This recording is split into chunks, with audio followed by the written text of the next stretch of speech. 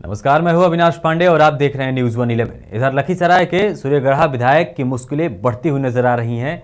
आपको बता दें कि उन्होंने एक मारपीट की घटना को अंजाम दिया था, जिसके बाद आरोपी ने एफआईआर दर्ज कराई थी और फ़िलहाल पुलिस उनकी छानबीन कर रही है गिरफ्तारी के लिए। आपको बता दें कि इस दौरान वहाँ कई नेताओं ने और कई संगठनों ने इसके विरोध में प्रदर्शन किया और सूर्यगढ़ा विधायक की गिरफ्तारी की मांग की।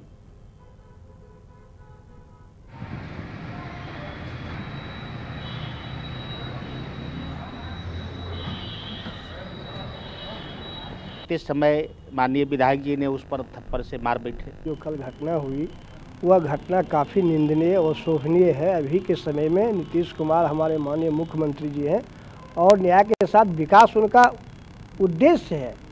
और पूरे बिहार में कोई एमएलए एमपी मंत्री हो, कोई जो भी अन्याय कर रहा है, वह बच नहीं पाता है। तो यहाँ जो स्थानीय विधायक है, जो अपने आप को दबंग कहते हैं, कानून का राज है और बिहार में मुख्यमंत्री नीतीश कुमार के राज में कोई भी अन्याय करेगा, वह कानून के शिकंजा से और सारण ज़िले में सरकार के माध्यम से प्रायोजित योजनाओं को जन जन तक पहुँचाने के लिए जदयू के कार्यकर्ताओं ने पंचायत से वार्ड स्तर तक बैठक की। आपको बता दें कि मुख्यमंत्री के माध्यम से चलाई जा रही कल्याणकारी योजनाओं को पंचायत और वार्ड स्तरों तक ये पहुँचाने के लिए ये बैठक की गई है।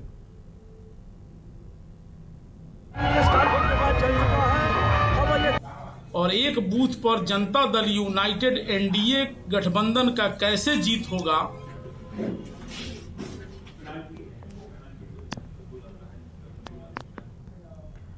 और पटना के पीरबहोर थाने में कार्रवाई करते हुए 2007 के एक डकैती केस में दो आरोपियों को गिरफ़्तार किया है। वहीं पुलिस ने बताया कि गिरफ्तारी आलमगंज थाना क्षेत्र से हुई है और दोनों आरोपी नाम बदलकर रह रहे थे जिनकी सूचना मिलने पर त्वरित कार्रवाई करते हुए दोनों आरोपियों को गिरफ़्तार किया गया।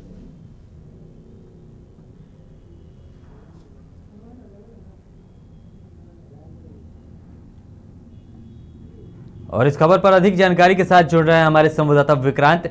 विक्रांत, क्या कुछ जानकारी है आपके पास? दो आरोपियों की गिरफ्तारी हुई है। जी, बिल्कुल अविनाश, मैं बता दूँ कि ये पटना पिरबोर थाना का मामला था, जब 2007 में अवर प्रमंडल कार्यालय, बाकीपुर के कार्यालय में लूटपाट किया गया था। ये लोग 2007 के बाद से लगातार फरार चल रहे थे और अपना नाम और नाम और हुलिया बदलकर सब जगह अलग अलग स्थानों पर जगह बदलकर रह रहे थे। जब पटना पुलिस को पिरवौर थाना को गुप्त सूचना मिली कि ये लोग आलमगंज आलमगंज थाना अंतर्गत के एक मकान में रह रहे हैं, तभी त्वरित कार्रवाई करते हुए दोनों को गिरफ़्तार कर लिया गया। जी। बिल्कुल। विक्रांत, अभी हाल के दिनों में भी ऐसी गिरफ्तारी हुई थी जो इस डकैती केस से ही जुड़ी थी। उसके बाद फिर से आरोपियों की गिरफ्तारी हुई है। क्या अधिकारियों का क्या कुछ कहना है इसको लेकर? क्या अभी और भी कार्रवाई की जा रही है? क्या अभी और भी छानबीन चल रही है? अभी क्या और अपराधी इसमें गिरफ़्तार होने बाकी हैं क्या? जी बिल्कुल अविनाश मैं बता दूँ कि इसमें पहले भी दो आरोपी को पटना पुलिस ने पिरवोर थाना ने गिरफ़्तार गिरफ़्तार किया है लेकिन उसी केस में आज दो और दो, दो अपराधी जो बचे हुए थे उसको भी गिरफ़्तार कर लिया गया। जी।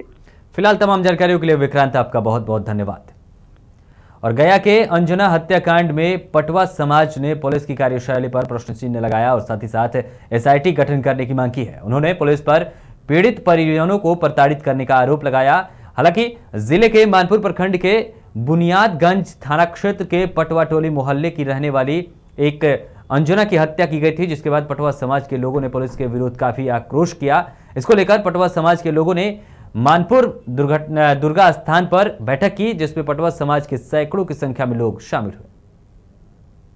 तो पटवा टोली के पिहानी मोहल्ले के रहने वाली नाबालिग लड़की अंजना कुमारी के लापता होना और फिर छः जनवरी को छत बिछत अवस्था में लाश को मिलना और उसके बाद उन्हीं के माता पिता को ऑनर किलर बता करके फंसाने का एक साजिश रचे जाना, इसके विरोध में हम लोग बंदी अनिश्चितकालीन की इंडस्ट्री की घोषणा की है। यहाँ लगभग पैंतालीस हज़ार बुनकर कामगार मजदूर बेरोजगार रहेंगे अभी तो बंदी चलेगा। एक साल हो गया पढ़ाई छोड़ा हुआ। कौन क्लास तक? नाइन्थ तक पढ़े। ठीक है। तो आपसे तो ये तो नहीं कबूलवाया ना कि पापा मम्मी ने मारा है? ये तो नहीं कबूलवाया ना पुलिस ने? कबूल करवाया यही कि पापा का भी हाथ है और पापा का दोस्त मारा है। नहीं नहीं पापा आपसे पुलिस ने ये बुलवाया कि वो इकतीस को आई थी या कुछ और बात बुलवाई? यही बोलवाया कि इकतीस को आई और फिर मारने वाला में भी पापा का हाथ ही है। लेकिन जब वो आई ही नहीं इकतीस तारीख को तो नहीं ये तो आप पता नहीं कि सच क्या है वो बताया ना कि पुलिस को आपने ये बताया कि भाई आपसे एक ओलवा लिया कि पापा ने और उनके दोस्त ने मारा है? यस ये कोलवा लिया पुलिस ने? बहुत टॉर्चर करके बोलवा लिया। कोर्ट में भी आपका बयान हुआ है ना? यस कोर्ट में भी बयान हो गया। तो कोर्ट में आपने सही सही नहीं बताया कि पुलिस ने ज़बरदस्ती किया हम लोगों के साथ? नहीं बदला पटना के बेबाज थाना क्षेत्र के एक तेज रफ्तार ट्रक ने बाइक सवार युवक को टक्कर मार दी जिसमें बाइक सवार युवक की मौके पर ही मौत हो गई। वहीं आक्रोशित लोगों ने एनएच तीस को जाम किया और प्रदर्शन किया साथ ही साथ प्रशासन के खिलाफ जमकर नारेबाजी भी की। वहीं मौके पर पहुँचे पुलिस ने लोगों को शांत कराया।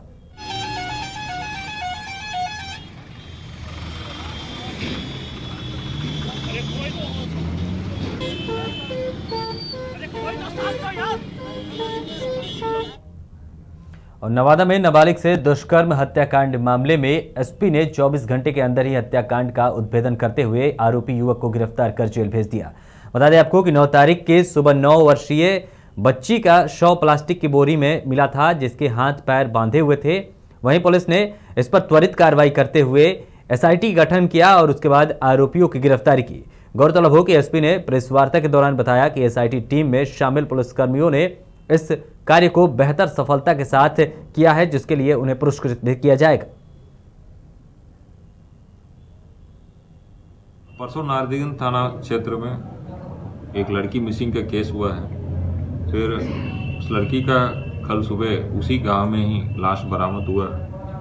पुलिस ने फिर लाश को अपने कब्जे में लिया और एफएसएल टीम और डाक स्क्वाड का सहयोग से अनुसंधान प्रारंभ किया है। अनुसंधान के उपरांत ये बात आई कि जो लड़की के साथ जो बलात्कार किया गया है और इसको बलात्कार के बाद हत्या किया गया फिर ये बिल्कुल ब्लाइंड केस था।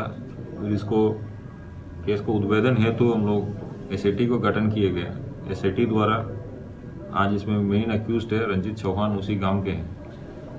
उनको गिरफ़्तार किया गया और उनके द्वारा ये घटना कैसे कैसे कारित किया गया तो पूरी बात पुलिस को बताया भी और इस संबंध में आगे भी हम लोग अनुसंधान कर रहे हैं।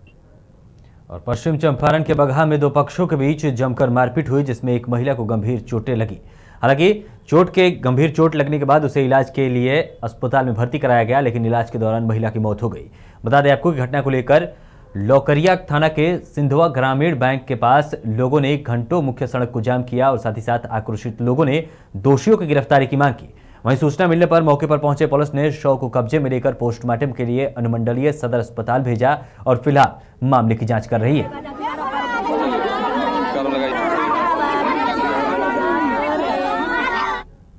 मर गई। मार से कौन मार दिया? मुन्ना साहब के मरले वाला झूक के रास्ता धो के जात रहनी जा अपन काम धंधा में तो। सिवा सर सारी सारी कार हमार चौकोर बा। दौरी दुकान सब चौके ओर बा। उन्हें जात रहन जा घेर के लगला से मारे आहे दो है दिन पहले? कई दिन पहले? परसों परसों चौथा रोज की परसों। परसों। दवाई भइल हो ओकरा? हाय हो दवाई होता। कहाँ भइल हो। भैरो गज लेकर भगनिया जा ओकरा बाद हाल टर गलिया जा हॉस्पिटल बंद भैरवगंज में कहाँ इलाज हो रहा था? हॉस्पिटल के नाम नहीं हॉस्पिटल का हम बागड़ वाला है मोबाइल चलाए तो जानबे करेंगे बाबू तो हॉस्पिटल का नाम क्या जाना पर्ची उर्ची बा डॉक्टर के। जहानाबाद नगर थाना क्षेत्र के कचहरी और बाज़ार को जोड़ने वाली पुल से गिरकर एक छात्रा की गंभीर रूप से वो जख्मी हो गई और बताया जा रहा है कि छात्रा का इलाज जहानाबाद सदर अस्पताल में चल रहा है। वहीं छात्रा का इलाज चल रहा है और आपको बता दें कि पुल काफ़ी जर्जर स्थिति में है जिसको रेलिंग भी जिस पर टूट चुकी है और इसको लेकर आए दिन लोग बनाने की मांग करते हैं लेकिन नहीं बनाया जाता है। इसको लेकर आवागमन यहाँ पर जो भी लोग करते हैं उनको उनकी जान बहुत ही खतरे में रहती है।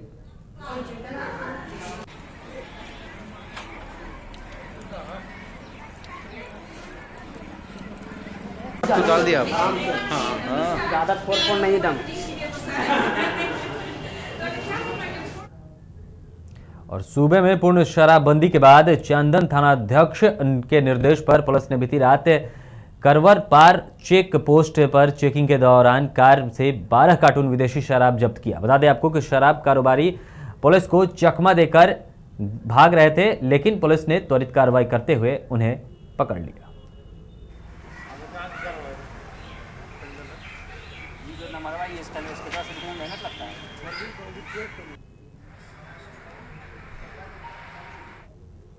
और टीईटी अभ्यर्थियों ने विवेकानंद की बहत्तरवीं जयंती पर बिहार सरकार का शिक्षण अभ्यर्थियों के साथ सौतेला व्यवहार करने को लेकर टीईटी परीक्षा के उपरांत बहाली नहीं करने को लेकर अभ्यर्थियों ने प्रशासन मुख्यालय के समक्ष एक दिवसीय धरना प्रदर्शन किया। बता दें आपको कि अभ्यर्थियों ने यह भी कहा है कि आगामी लोकसभा चुनाव से ठीक पहले अगर बहाली नहीं होती है तो विद्यार्थीगण वोट का बहिष्कार करेंगे और धरना प्रदर्शन करेंगे।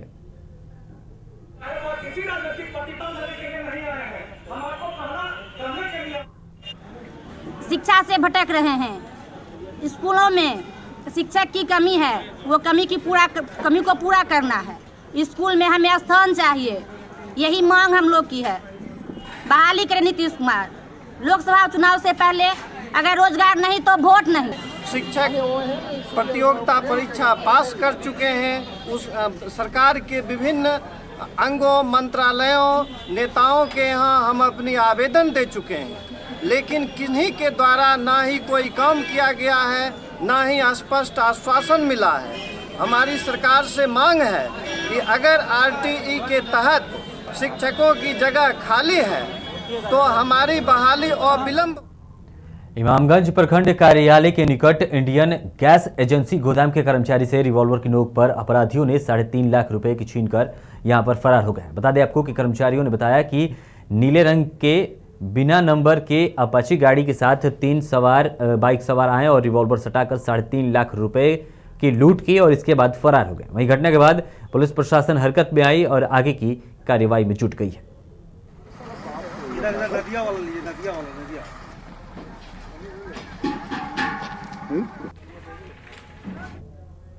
और गोड्डा में छात्र चेतना संगठन इकाई ने जिला प्रभारी के नेतृत्व में पाँच सदस्यीय टीम के माध्यम से बसंत राय प्रखंड के अंतर्गत सरैना गाँव में स्वास्थ्य उपकेंद्र का औचक निरीक्षण किया। आपको बता दें कि जिसमें केंद्र के अंदर भारी मात्रा में व्याप्त भ्रष्टाचार का उजागर करते हुए पदाधिकारियों ने स्वास्थ्य विभाग के उदासीन रवैये पर बरसते नज़र आए।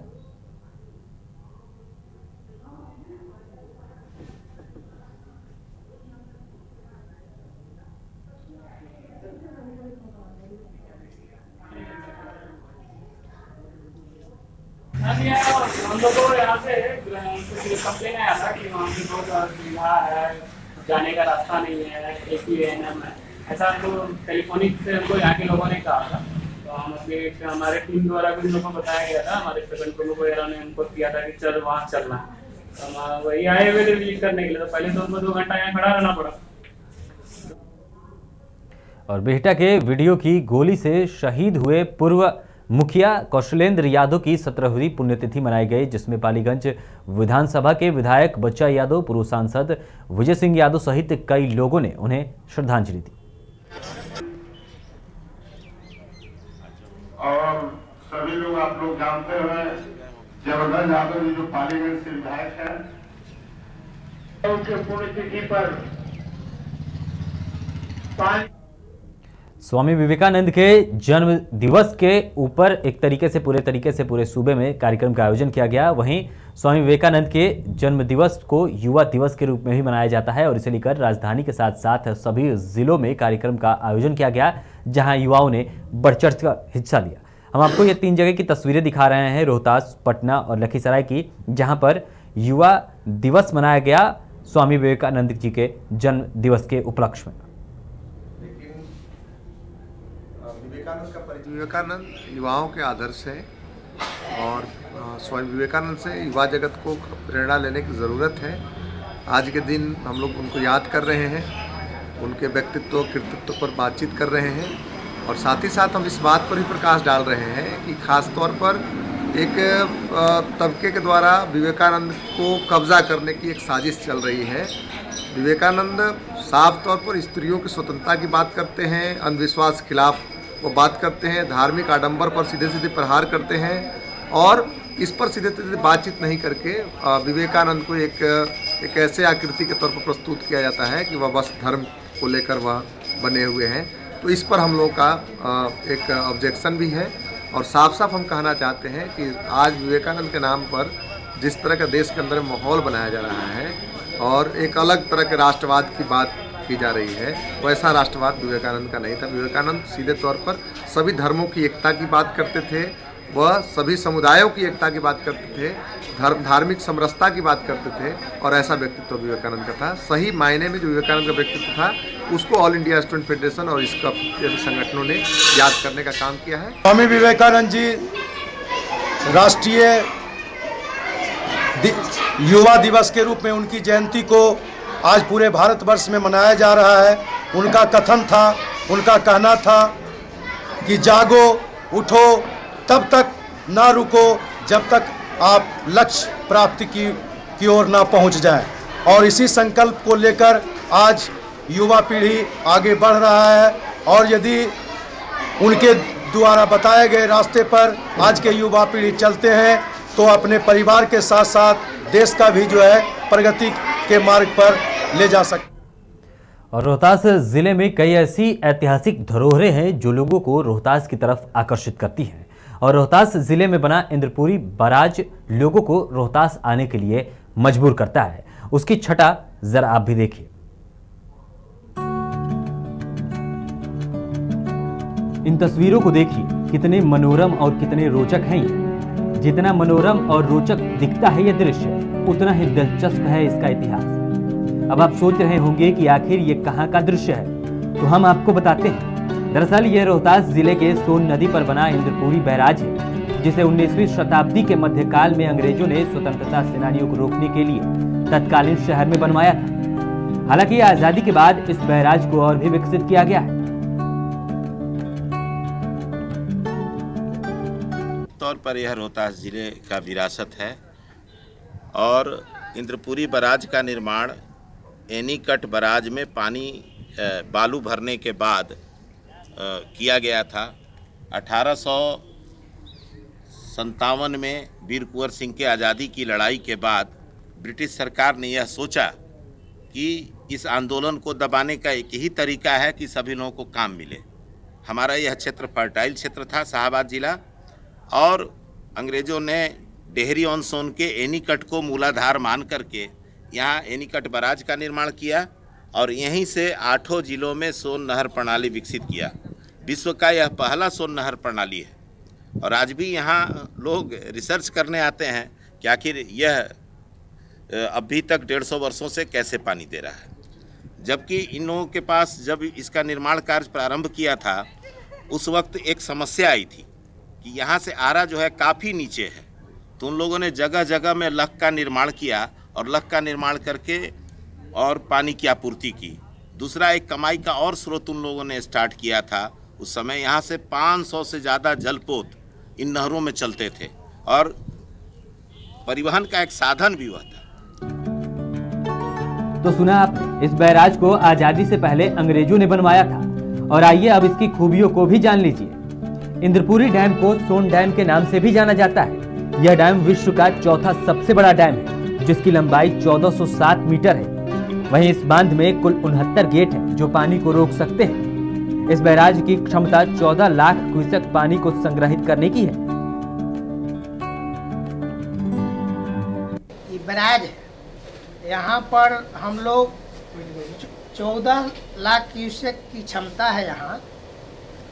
तो यहाँ पर हम पानी रोक सकते हैं। मैंने प्रवाहित इस गेट से इस गेट से उनहत्तर गेट है मेरा यहाँ। उनहत्तर गेट डाउन में है और जो कैनाल पटना का है, उसमें चार गेट है और इधर चौदह अथी सात दूनी चौदह गेट है। दो गो है, ए चार है और ए चार है। दो कैनाल इधर से निकली है, पश्चिमी से, और पूर्वी से चार गेट निकली है। तो पूर्वी से आपको उधर औरंगाबाद जहान जहानाबाद अरवल पटना का सिंचाई होती है। और ईस्ट साइड से जो निकली है इधर बक्सर साइड आरा भभुआ मोहनिया इस सब ससाराम इस सब का मैंने सिंचाई होती है। और इस पुल की हमारा जो लंबाई है 1.4 किलोमीटर है। बराज की जो लेंथ हुआ। और हम कैपेसिटी के अनुसार मेरा कैपेसिटी अभी तक तो मान लिया कि इधर हम पश्चिमी साइड दे सकते हैं पानी साढ़े अंठानवे सौ का कैपेसिटी है। उधर छियालीस सौ पचास का कैपेसिटी है पूर्वी कैनाल में पानी देने का। लेकिन अब इधर पैलर कैनाल एक नई कैनाल तैयार हो रही है जिसे पानी की मात्रा में बढ़ाया जा सकता है। बहुत अच्छी जगह है तो यहाँ पे सभी को आगे घूमना चाहिए। सोन नदी बहुत और क्या ये यहाँ के खासियत के बारे में क्या कहेंगी? क्या खासियत है यहाँ की? क्यों अच्छा लगता है घूमना आप लोगों को यहाँ पे? घूमने की जगह है यहाँ पे। अच्छा। तो एक बार सोचे यहाँ पे भी घूम करके देख लेते हैं। जी जी। सबसे बड़ी बात यहाँ पे सोन नदी बहुत खूबसूरत है। सोन अच्छा। नदी पे बना हुआ ये बैरज बहुत अच्छा लगा इंद्र की नगरी कहे जाने वाले इंद्रपुरी में डैम होने के कारण पर्यटकों को अपनी ओर यह आकर्षित करता है। यहाँ डैम को देखने के लिए दूर दराज से पर्यटक आते हैं और यहाँ नौका विहार का भी आनंद लेते हैं। लोग यहाँ विशेष दिनों पर पिकनिक मनाने के लिए भी आते हैं। बहुत नाम सुने थे इंद्रपुरी का। वैसे तो शेर साल रोज़ा है बट यहाँ का नाम सुने तो हम लोग आए फैमिली के साथ एंजॉय किए और इसमें बोटिंग किए। बहुत मज़ा आया। और हमारी फैमिली को भी बहुत मज़ा आया। नाव की भी सवारी की आपने? जी बहुत उसमें मज़ा आया सब फैमिली वाले को उनको भी। तो क्या दु- दोबारा आना चाहेंगे यहाँ पर? जी हम तो सोचते हैं हर संडे को आने को। बहुत अच्छा लगा यहाँ घूमकर। तो कैसा पिकनिक स्पॉट भी है ये? जी बहुत अच्छा है। फैमिली वालों को भी तो और अच्छा है।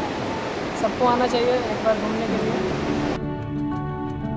अपनी मनोरम छटा के लिए जाने जाने वाला सोन डैम जितना आकर्षक दिखता है, उतना ही किसानों के लिए भी फ़ायदेमंद है। यह डैम किसानों के लिए जीवनदायक है, क्योंकि यहाँ से कई जिलों के खेतों में सिंचाई के लिए पानी की सप्लाई की जाती है। डेरी से रुपेश कुमार की रिपोर्ट, न्यूज़ वन इलेवन। तो ऐसे ही तमाम बड़ी खबरों से अपडेट रहने के लिए आप हमारी website news one eleven dot com पर लॉग इन कर सकते हैं। लेकिन फ़िलहाल खबरों में इतना ही। बन रहे न्यूज़ वन इलेवन के साथ। नमस्कार। Bye.